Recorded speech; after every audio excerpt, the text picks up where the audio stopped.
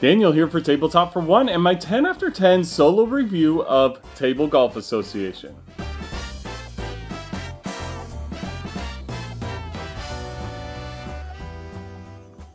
And so Table Golf Association is a dexterity game designed by John Garcia.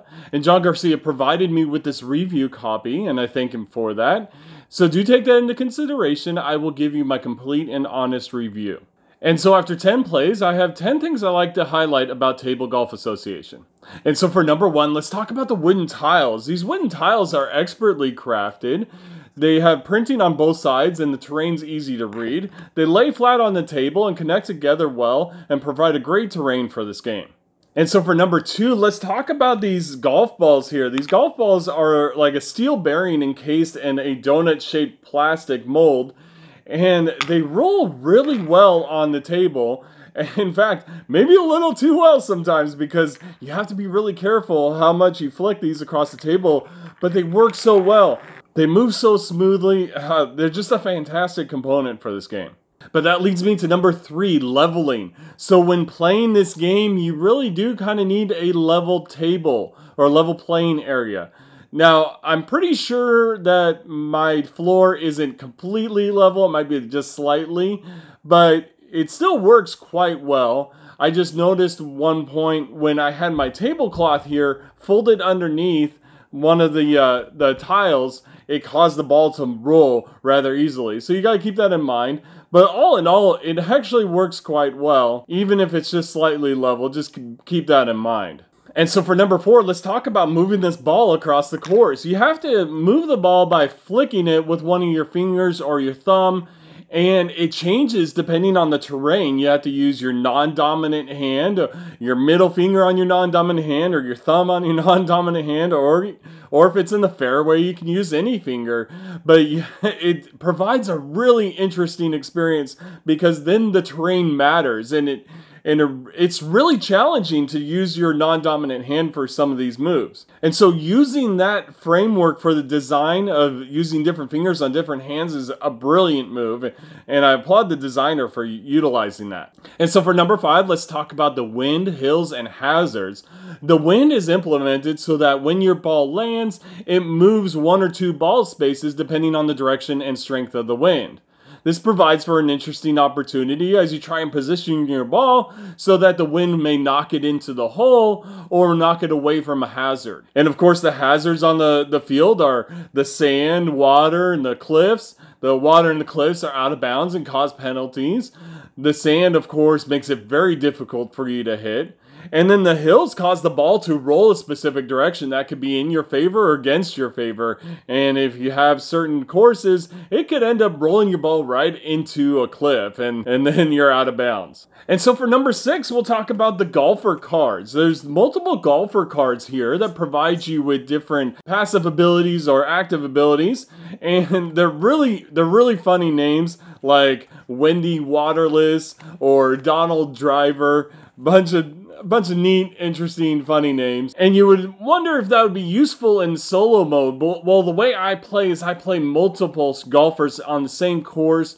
That allows me to play the hole multiple times before I change it. And so I will assign one of these cards to each of those golfers, and it provides a different play experience for each of them, and it's quite fun. And so for number seven, let's talk about the cost of entry here. Now, this game here costs about $85, $90 for this deluxe version, and that could be a high barrier to entry. Although it's not uncommon for some of the really good uh, dexterity games to be expensive, it's definitely not as accessible as you might want it to be. However, right now on Kickstarter, they have the family edition where it has cardboard tiles and it comes in at $45 for the first base edition. That's quite an improvement on the price. Now, again, you don't get the wooden tiles, but you still get the same gameplay experience for a more accessible price. So you'll definitely want to check out that Kickstarter. I'll put a link in my description. And so let's talk about the ease of solo play. Now this game is quick to play, it's easy to play, but it's hard to master because you are now having to control how much power you put in your, your finger as you flick it and it could be the positioning of your finger. You could flick it like this, or you could flick it like that.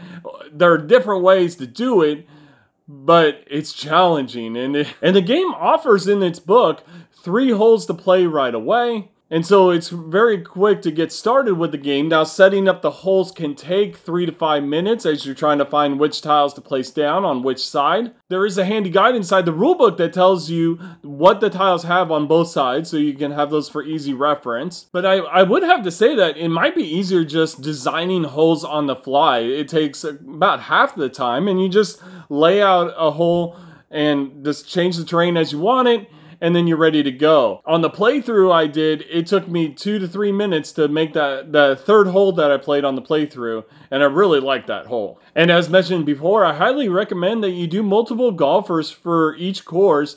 That way you get the most out of the hole that you designed or set up and the most out of your gameplay. And that leads me to number nine, the replayability. Now, the replayability of table golf is as wide as you want it to go and are willing to put effort towards designing your own holes and playing different holes and, challenging yourself in that way. Now online on the table golf website there is an 18 hole course that you can you can utilize yourself. But after that, you might want to change it up and make your own course. And that's where I think you'll get the most out of your gameplays. If you're designing your own courses, even on the fly, and enjoying what you did with your own creativity and design. And so for number 10, I just have to say this game is so much fun. I'm having an absolute blast playing this every time. And you couldn't see it in the playthrough because you couldn't see my face, but I had a silly grin on my face as I did that entire playthrough. It's so much fun and so challenging and even really accessible for me with my arthritis and shaking of my hands. I wish I had a second game table in this room, then I could keep it set up all the time and play a couple holes each day. And so I'm going to give Table Golf Association a 9 out of 10. I think this game offers a fantastic experience.